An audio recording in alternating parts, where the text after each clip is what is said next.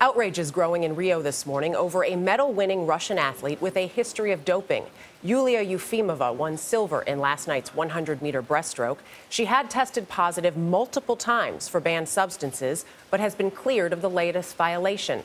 Ben Tracy joins us again from Rio with how doping is now dominating the Olympics discussion. Ben, good morning.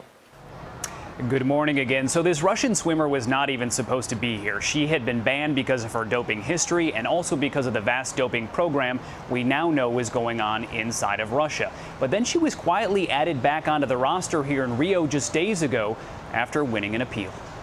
She swam in lane 5 right next to her American rival, Lily King. And by the time they touched the wall, the Russian, who had served a 16 month suspension for doping, won a silver medal coming in second to the 19 year old American. The grudge match between the two began over the weekend when they engaged in a fierce finger shake off.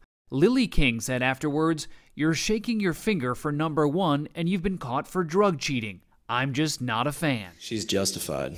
Members of Team USA are not holding back about having known dopers in the pool. During this games, there will probably be people who miss the podium to people who don't deserve to be on the podium. And that is wrong. Russia initially submitted 389 athletes for the Rio Games. Only 271 were approved to compete by the International Olympic Committee. But in the past several days, eight Russian athletes banned for doping have been allowed back in after winning appeals, most of them swimmers.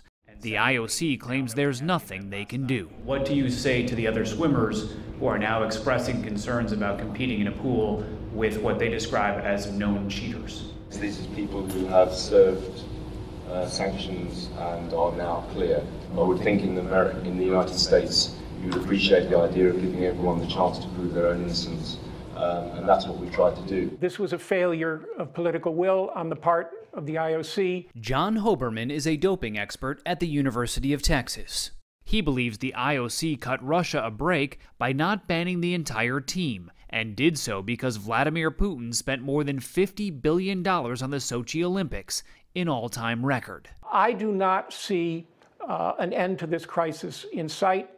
I think that the incentives to dope uh, were built into the system a long time ago which could be why Michael Phelps, now at his fifth Olympics, is frustrated by the lack of progress. You want to be able to compete on an even playing field. In my career, I don't know if I've ever competed in a clean sport.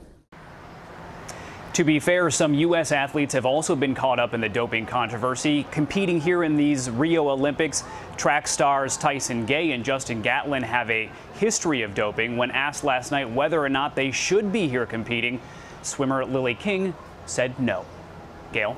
Well, did Lily King is consistent. Did Michael Phelps say, I don't know that I've ever competed yes. in a clean yeah. event? Yes, yeah. he did say yeah. that. Wow. Yeah. there are a that. lot of swimmers that I talked with, former Olympic swimmers, who really feel the exact same way. Mm-hmm. It's yeah. it's a very strong feeling. It's not a level them. playing field. No. That mean mug stare that Lily King gave the, the Russian swimmer while they before they took off was very, very chilling. Yeah. But, yeah. You know, I'm going to beat you. Yes. and, and Charlie, she Winning did. says everything, yeah. doesn't it? Final Just word. Hold it to one I, finger. I didn't finish that, did I?